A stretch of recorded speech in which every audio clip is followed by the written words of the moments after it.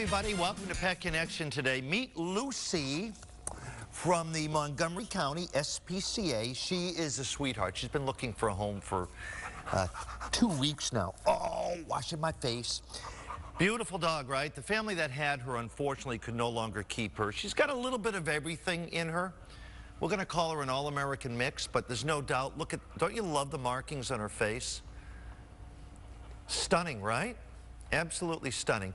You know, she'd be good with uh, dogs her own size, but I always suggest a meet and greet is always best just to make sure everybody gets along.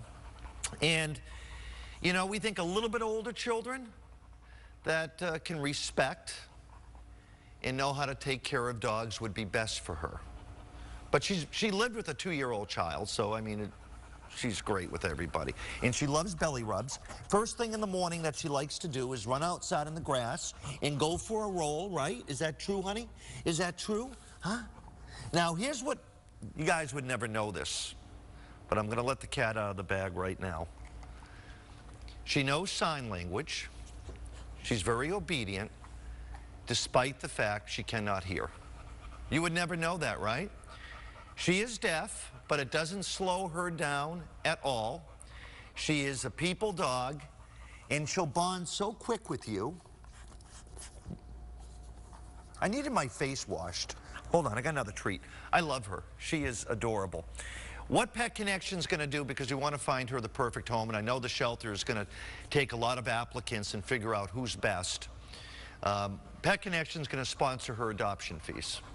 We're going to sponsor you, honey.